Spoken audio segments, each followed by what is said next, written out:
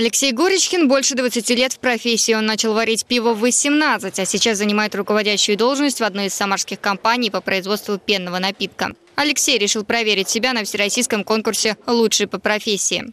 Знание, желание, потому что желание – это желание творить, соответственно, изобретать какие-то новые сорта, которых э, на рынке еще нету. Интерес э, должно быть у самого пивовара в душе, потому что когда есть интерес, есть э, достижения какие-то. Конкурс проходит ежегодно, но каждый раз выбирают пять новых профессий. В этом году наряду со швеями, электромонтажниками и разработчиками приложений впервые пивовары. На региональном этапе 15 человек, половина из них – выпускники Самарского политеха, на базе которого и проходит конкурс. Самое главное, на что будут обращать внимание эксперты при оценке – это, конечно, технология. Состязание состоит из двух частей – теоретической и практической.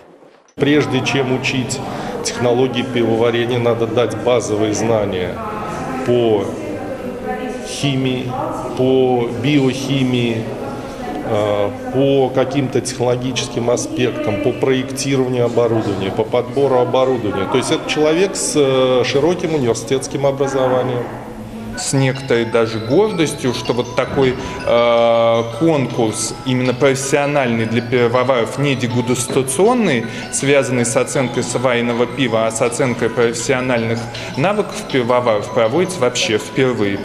Победителей в региональном этапе будет двое. В сентябре Самара примет финал конкурса. Сюда съедутся пивовары со всей страны. Лучших ждут денежные призы до 300 тысяч рублей. Мария Левина, Николай Епифанов. События.